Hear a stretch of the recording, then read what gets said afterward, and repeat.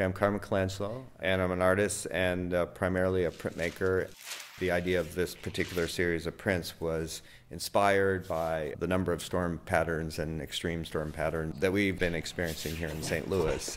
The prints were made at Flying Horse Editions in Florida.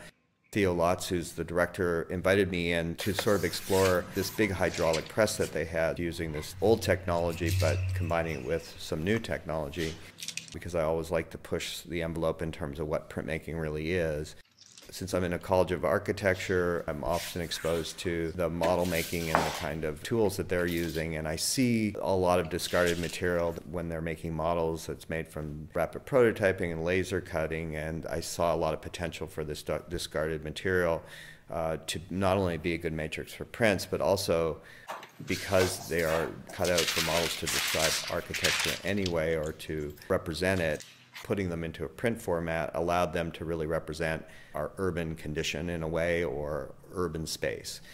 I use that as my iconography for form uh, structure for these prints, which are largely landscape based prints. But I knew that on a hydraulic press, they would create really interesting embossment and really unique patterns because the two things aren't usually used together. But I knew from my printmaking background that I could make that work with more traditional processes like intaglio printmaking and relief printmaking, but then also combine digital printmaking with it. What I've really done is tried to push into these images the structure and then somehow try to negate it or to disrupt it to create combustion. And names of hurricanes are named female and male names and alternating years. And so what I did was I took a male and a female name and I created typography for it and then I distorted it on the computer to make a kind of calligraphy. So the name is there, but it's not very legible, but it creates a linear calligraphic line that gives it this energy and this kind of space. All of that is combined with looking at maps of globes, but old maps from chromolithographs.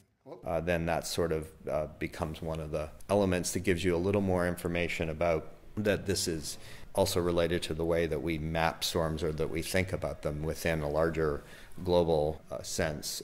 There's eight prints in the series. Uh, four of them look like the event of the storm. Four of them are more minimal, and they're the shards that are left over from the storm.